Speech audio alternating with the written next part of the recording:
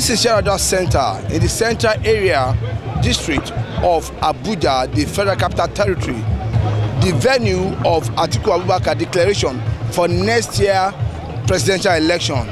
As you can see, the venue is filled up to the brim. While declaring his ambition before a large crowd of supporters, former Vice President Atiku Abubakar says he has what it requires to bring together the best brain in Nigeria to address many socio-economic problems confronting the country.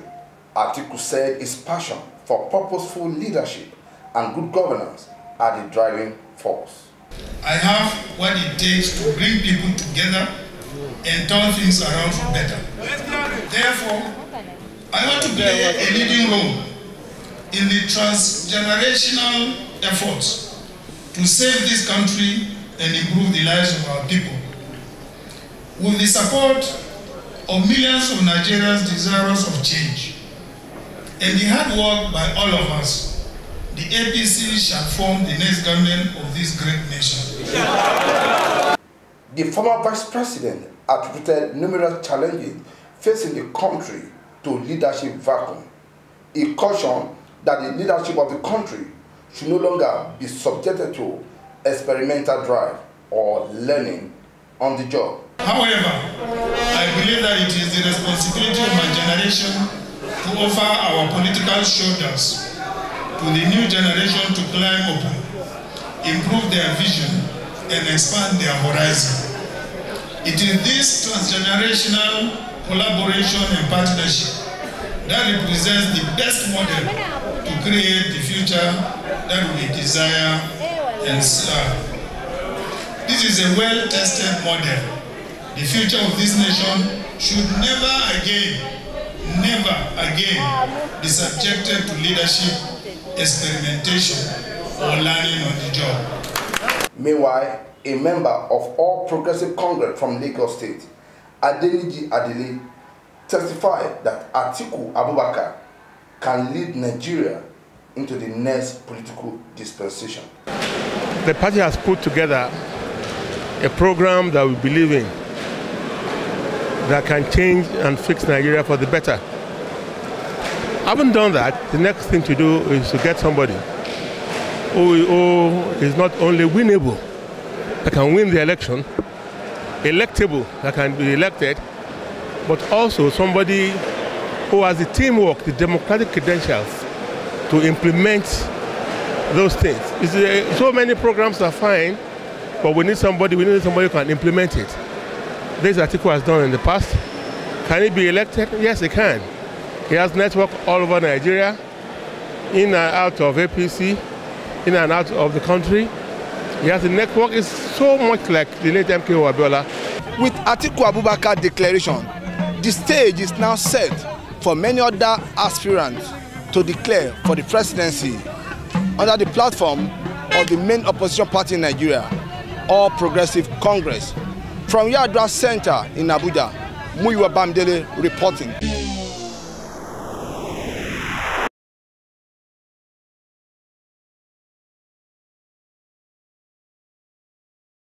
In a bid to ensure that internal security operations in Nigeria are void of human rights violations and are in conformity with international best practices, the Office of the National Security Advisor, in collaboration with the European Union through its Instrument for Stability program, has organized a two-day training workshop on civil military cooperation (CIMIC) for the Nigerian Armed Forces and other law enforcement agencies. The training workshop, which is aimed at boosting capacity towards effective compliance with the provisions of international humanitarian laws and international human rights laws during military operations, is one of the ways the Nigerian government would ensure that armed forces and other relevant security agencies are of good conduct in ongoing counter-terrorism operations and other military operations in the future.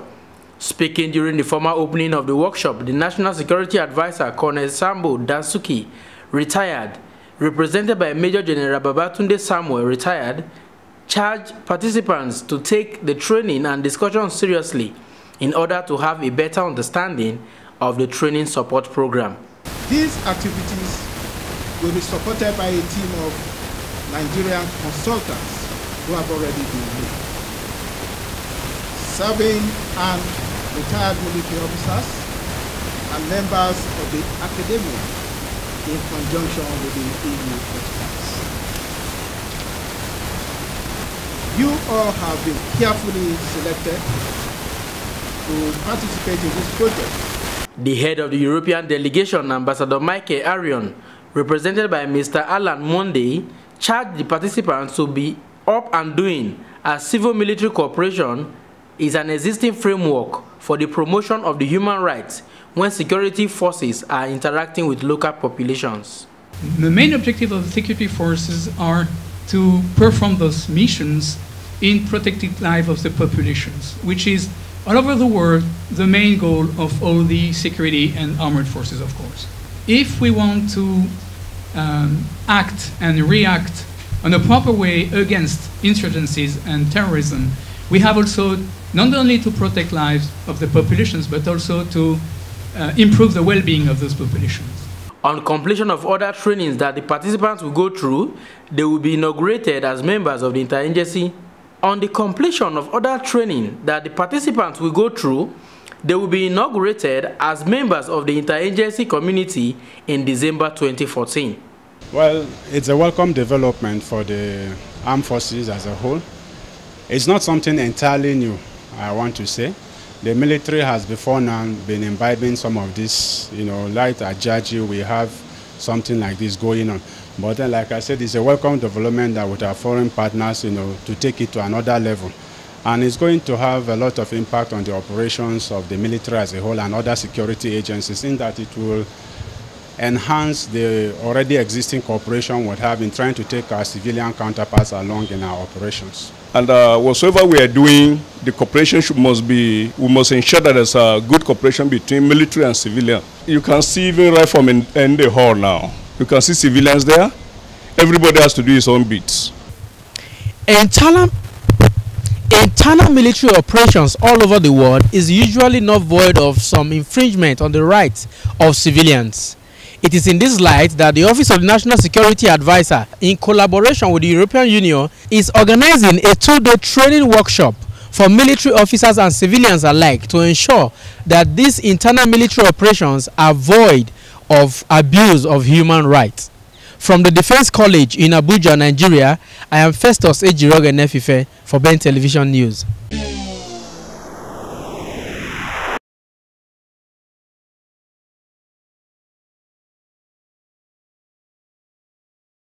Three opposition parties may adopt President Goodluck Ebele Jonathan as their sole presidential candidate come 2015 general election. National coordinator of Goodluck Initiative for Transformation GIFT, Engineer Chinedu Obalama, made this known in a press conference in Abuja, Nigerian Federal Capital. We already have three political parties who have said that they are going to adopt the president, and uh, we are having our rally on the 30th in Lagos. We are launching our office there, and they said at Tafawa Balewa Square on, on the 30th, the leaders of these parties will come out to openly declare that they have they are going to adopt President Goodluck Jonathan as their presidential candidate for 2015. They will run for other elections. The parties will run for other elections, but for the presidency, they are standing with President Goodluck Jonathan. And so, if those three parties are able to do that on the 30th, we believe that other parties will see reason to adopt President Goodluck Jonathan as the sole candidate for 2015. Meanwhile, the opposition party, All Progressive Congress, APC, had criticized the decision made by the leadership of the ruling party, the People's Democratic Party, PDP, to adopt the incumbent president as a sole candidate for the election. We have a president who has a transformation agenda, is yielding results. Let's allow him on his second term. There is no president in Nigeria that has not run a second term. So I don't know why President Goodluck Jonathan's own has become an issue. Is it because he's from a minority? We are all Nigerians. So if if every political party does that, it will help us as a as a united nation. It will send a big message to the whole world because everybody knows that President Jonathan is not the kind of person that intimidates anybody. He's a free-minded person and he listens. So if Nigerians come together and rally around him and say, "We are giving you a second time in office," it will make him work more for, for us. Engineer Chinedu also called on the opposition parties to toe the line of the ruling party PDP and adopt President Goodluck Ebele Jonathan to save electoral costs, avoid bad blood in politics and also engender development in the country. From Abuja, LM Chukwuemeka reports for Ben TV News.